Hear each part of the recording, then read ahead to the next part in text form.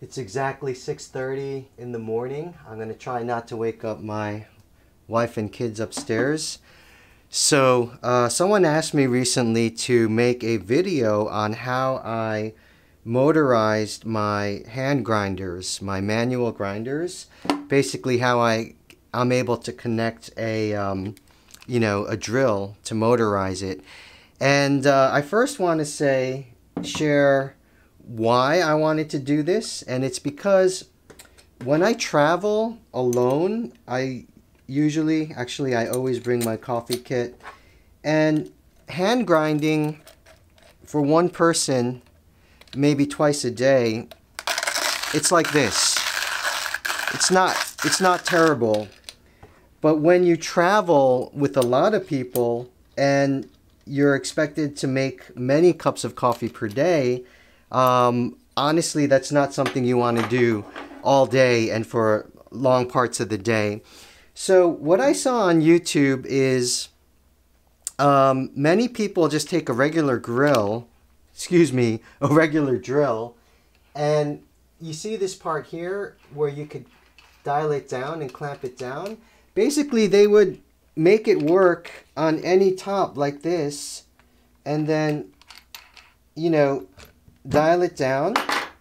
And you could basically make that work almost on any grinder, but I think it's going to strip and I don't know how long that's going to last. So there's, uh, I guess, better ways to do it, and I am going to share uh, two ways that I figured it out. Okay, so the easiest way is there's a website called shapeways.com which is a 3D printing company uh, right near where I live in Long Island City, Queens. That's where the company is. And I ordered this piece, which is called the Coffee Grinder Bit for Drill Driver CDPL.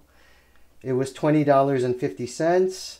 And the specific model I got, um, literally, it's called recessed part for fixing to a quick change quarter inch hex chucks, which basically means it's going to connect to this quarter inch electric screwdriver. And this one was made for the Hario Coffee Mill Slim Grinder Mini, and it lists other brands and models that it'll fit. And it comes in the mail, this little piece, and you put it on top, and then I, I drilled with it a few times. I don't think this is going to come off. If, if I did take a wrench and pull it off, it'll probably strip it or damage some parts. So once you put it on, it's probably not going to come off. Uh, the second way I did it was this model, the Hario Skerton hand grinder. Um, as I showed you before, you unscrew the top and this is a, the annoying part of this is every time you want to put in coffee beans, you got to unscrew the top. And um, I put in 15 grams, for, which is roughly enough for one mug for me. And what they tell you to do is, on the websites, is to get this hex nut and washers. Uh, the size is M6. I guess that's 6 millimeters. And uh, some people say you have to go to an auto uh, parts supplier to get metric size, uh, but my uh, hardware stores near me had a section for metric. So what I did is I, I put two washers and uh, it's really simple. Just put this screw on and then it gets a little more complex. You need this piece, which I ordered on Amazon. Uh, it, this is literally called the the 10 millimeter magnetic nut setter set quarter inch shank.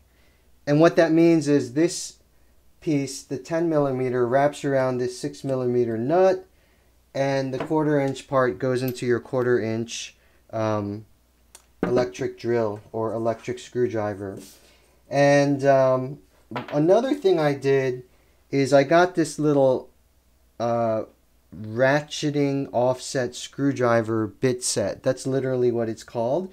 Just in case there's equipment failure, uh, you can uh, basically connect one end onto here, if I could figure this out.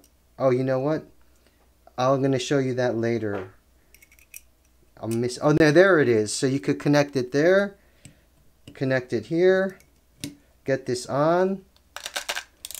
Honestly, I think this motion, instead of going all around, I think this motion is actually much easier to, to um, grind the beans manually. So, that being said, here's where I ran into some trouble. Many of the websites said that an 8 volt electric screwdriver has enough power to do to do this. But what I found, I actually bought an 8 volt and the only way that works is if you go top speed uh, without stopping. Otherwise, the motor, it struggles, it, it, it, it, it just poops out, it bonks. And then you just really have to go full speed. And that's not good for the beans. And that's not good for um, the grinder and everything. And so then I returned that. I got a 12 volt, thinking that was plenty, plenty of power. Honestly, that wasn't enough power either. And finally, it's a little big and heavy, and the battery is kind of gigantic. But this was on sale for half price. Uh, I got this for $99 with two batteries and a charger. And um, this 18 volt seems to be powerful enough. I mean, I guess more power the better. Uh, this one had variable speed. And I put it on the lowest speed, but even that, uh, you, you don't want to go too fast. So uh, each of these hand grinders has 15 grams, which for me is enough for one mug. So this morning I'm going to make two mugs. And I'm going to show you, I'll start with this one, how long it takes. There we go. I mean, I don't want to go too fast, so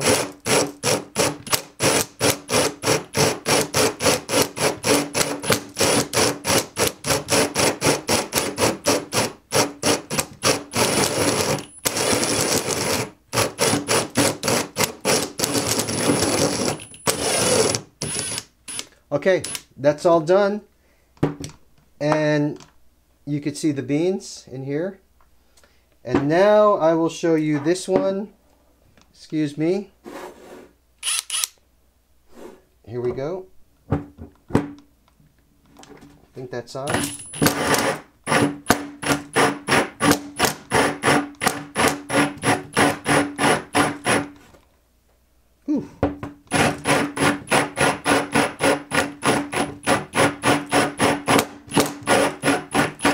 This one's louder. Feels harder.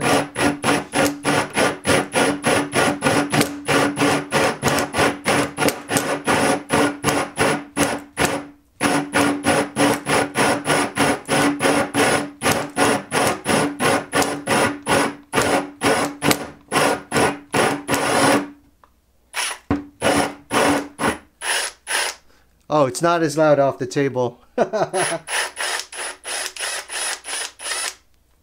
Uh, almost all the beans are in.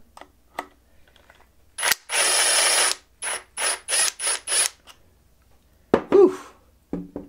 And there we go. Uh, thanks for watching. Bye-bye.